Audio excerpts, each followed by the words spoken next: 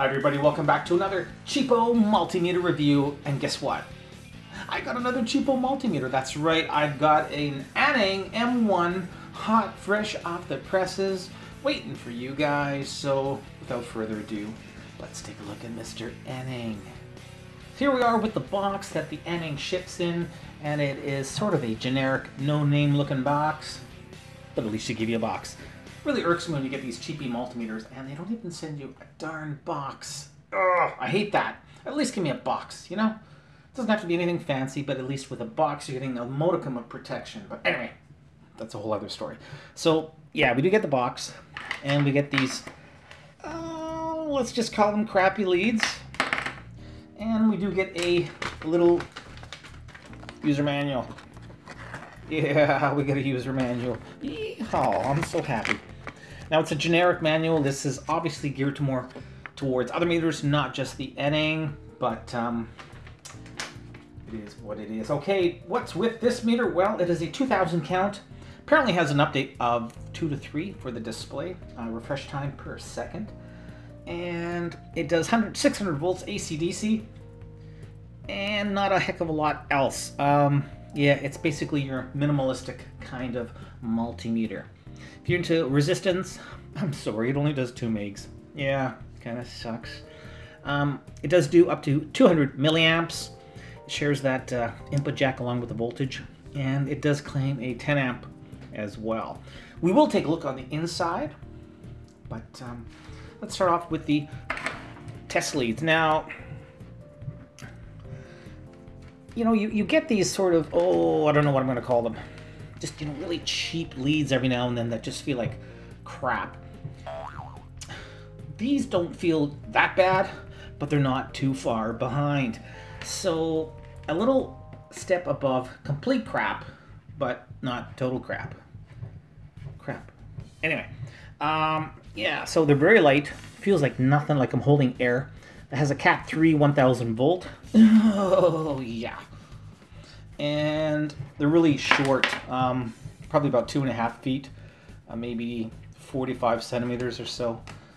And the input jacks, you know, these cheesy little uh, banana style inputs. So, yeah, I will use them for the review, but definitely, if you're going to keep this meter, replace the leads. Now, taking a look at the meter itself, what do you think, guys? Kind of uh, not too bad looking. I think it's got some pretty decent looking lines there. I'm liking it. I'm liking it. Has a pretty linear look to it. It's uh, not completely rectangle, but um, yeah, fairly decent look. Not too shabby.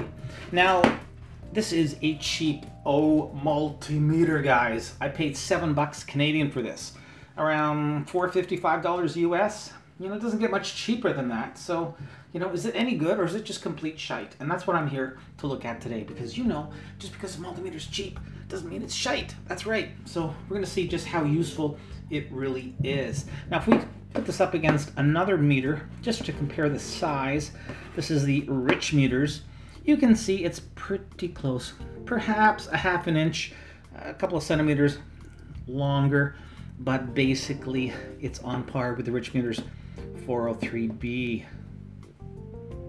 Take a look at the standing bail or the tilt stand. It does not close, so you know that's good. It's it's uh, plasticky, but at least it does not flop around like my mother-in-law on a Sunday morning at Costco. Anyway, that's a whole other story. Um, not bad, not bad at all. It has that kind of plasticky feel to it. Buttons are plasticky as well. There's no rubber to speak of whatsoever on this meter. It is strictly plastic. Now take a look at that display. You know, that is not too shabby. I have to say, the first time I turned this on, I was slightly depressed. I mean, I was impressed, not depressed. Um, yeah, so mm, it's uh, it's not too bad. The font is quite crisp. And we have that little high voltage indicator right now just because we're in the high voltage mode, but bring it down a notch and it disappears. But, you know, generally speaking, there is um, not a bad display. Now this does have a backlight as well. And if we hit it, there you go, the backlight turns on. Now will slowly fade into oblivion in about 15, 20 seconds. But it is crisp. It is really a gorgeous looking backlight. For a cheapo multimeter, this is probably one of the best looking backlights I've yet to see. Too bad it just didn't stay on as long as I wanted it to. There we go. And it is now, yeah, gone. But um, yeah, generally speaking, I'm quite happy with the display. I was not expecting something so uh, so nice. Now let's talk about the rotary switch. If we look uh, inside, it's kind of got a neat little look to it. Um, they kind of took it up a notch. Remember, this is a cheap, cheap multimeter. Five bucks the American, seven Canadian. Now the switch is not the easiest thing in the world to, to turn. It's a little bit too recessed for my liking. You know, it's not ultra smooth but it does hit the ranges with authority. It's not going to get lost mid-range, and it does have that nice clackety clack, so you definitely know it's changing. And, and this is a big hand, it doesn't beep. beep. Oh, yeah. You know when you're changing and beep, beep. Oh my gosh, I don't know what they're thinking of half the time. No audible beeping when you turn that selector switch, so thank you, Aneng for giving us a little bit of sanity. Okay, I have it hooked up to the precision voltage reference. We should be looking at 250 millivolts. And guess what? We're looking at 250 millivolts. Awesome. Very nice. Very nice. Next up, we are in volts mode. We should be looking at 2.50 volts. And that's exactly what we see, 2.50 volts, ending awesome. Two for two, you are an accurate little cheapie. I love it. We are currently in milliamp mode, sitting at 50 milliamps, and no worries there. Showing up is around 55. All right, so let's take it up a notch. Let's go up to 130 milliamps. Showing up as 134, 135. So far, so good. Let's take it up to, whoa, 200 milliamps, and we are over limit. Oh, it's so close take it down a notch 180 190 yeah they were good we're good. And 200 and that's it that's all she wrote. Okay so yeah no worries there. We only have that lousy 200 milliamp. You see this on most cheap multimeters even some not so cheap multimeters. It's just yeah a little on the low side for my liking but hey it got there no problem. Continuity is up next. We're going to start off with the default test leads. Here we go.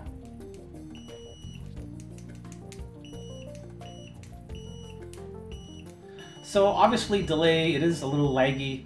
Um, fairly audible. I mean, I've heard worse, so that's not so bad in terms of the actual sound level itself. But it is slow. Slow and latched. Let's try another set of leads. Okay, Probe Masters it is. Why do I feel guilty about putting leads on a meter when the leads cost five times as much as the meter. I don't know. Call me old fashioned. Here we go.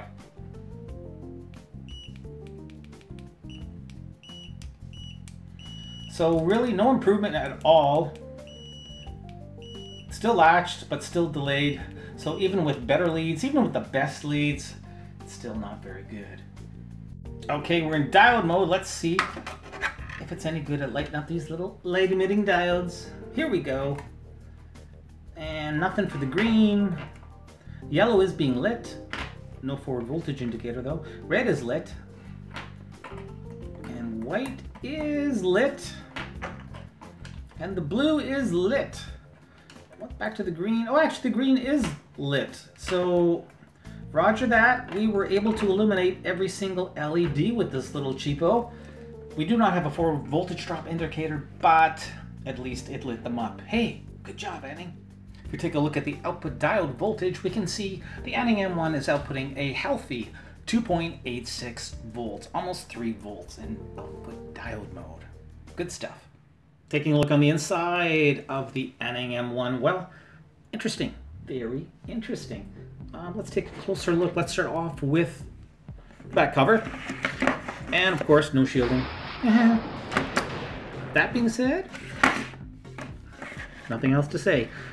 Now we'll start at the input jacks themselves, and if we take a look, we can see they are split, soldered directly into the PCB. Um, they are in housed in that plastic casing, so you know general wear and tear. This should be fine. I don't see any really long-term problem. Let's take a look at the input protection. That's where it gets a little bit interesting. What don't you see?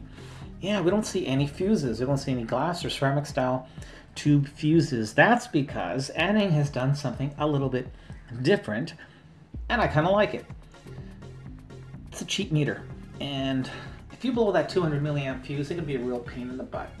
And you can end up spending more on fuses in the long run than the damn meter. What they've done here, this is an SR250-200, and this is a poly switch resettable PTC on the milliamp range. So if you do overcurrent your low currents, no worries, you're okay. It'll go out of range, but it will self-reset without blowing itself. I like that. I really do, especially on an inexpensive meter. Same thing with the current high current mode. They've incorporated a polymeric self-resetting fuse. And it's got that 10 amp rating, and away you go. So, I mean, I don't know how much high current I would really be testing with this meter per se, but it should be capable of meeting that threshold. And you know what? No fuses to change. Um, a lot less in the terms uh, in the maintenance department. So I like it. I really like it, especially on an inexpensive, aka cheapo multimeter. Really good stuff. Um, I got some dial clamping up here as well. We also have another PTC. There's the uh, piezo or speaker, and of course the IC is cobbed. Not a whole heck of a lot else going on. This is for the uh, HFE uh, transistor testing on the other side. But uh, big cap over here, a couple of transistors. We do have one uh, pot here, adjustable, but uh, yeah, really very small, tiny PCB. They put a lot on this little piece of board, but um, you know, I once again coming back to that input protection, I like it. For this type of a meter, I think it works perfectly. Everything else looks pretty good. Nice, clean, clear PCB. No flux residue that I can see. I've released very, very little. And overall, in terms of fit and finish, yep, I like it. Okay, I'll come back with my closing thoughts. Closing thoughts on the Aneng M1 Cheapy Multimeter. Wow. You know what? When I got this meter, I wanted to not like it. Don't ask me why. I actually really wanted to hate it. In fact, I wanted to just, uh, you know, just, just, oh, I just didn't want to like it. But I like it. I actually like it. For five, seven bucks, I mean, you can't go wrong. It's accurate, has a really, really nice display, one of the best looking backlights I've ever seen on any cheapy multimeter, that's for sure, and it rivals some of the more expensive meters. And then you did a really good job. I wish you would have done a little bit more in the range department. I mean, 2 megohm just doesn't cut it this day and age, you know, it's just not enough. But that being said, in terms of the input protection, I like what they've done. I like the fact they've replaced your typical glass fuse with something a little more out of the box, something a little less maintenance, and it's still gonna work just fine. When I was playing on milliamp mode, I went as high as 500 milliamps, brought it back down, and it reset itself almost instantly. If this would have been a regular fused meter, I would have had to replace it. No questions asked. So in the long run, I think this is really good value for the buck. A lot better than your typical 830 clone. I like it. I'm gonna give the Aneng M1 a solid 4 out of 5 stars.